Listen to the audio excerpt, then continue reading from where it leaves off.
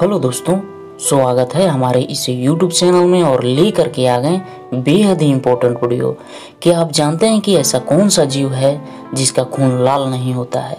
यदि नहीं तो प्लीज़ वीडियो में अंत तक बने रहें। तो यहाँ पर हम बात करेंगे कि ऐसा कौन सा जीव है जिसका खून लाल नहीं होता है।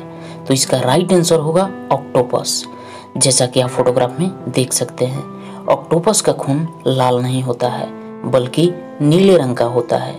ऑक्टोपस जैसा कि आप जानते हैं कि एक समुद्री जीव है, जिसे डेविल फ़िश के नाम से भी जाना जाता है। तो पूरा उम्मीद है कि वीडियो पसंद आया होगा। प्लीज़ लाइक करें, शेयर करें और चैनल पर नए हैं तो सब्सक्राइब करना ना भूलें। फिर मिलेंगे आपसे कुछ इसी तरह के वीडियो के साथ। तब तक के लिए धन्यवाद।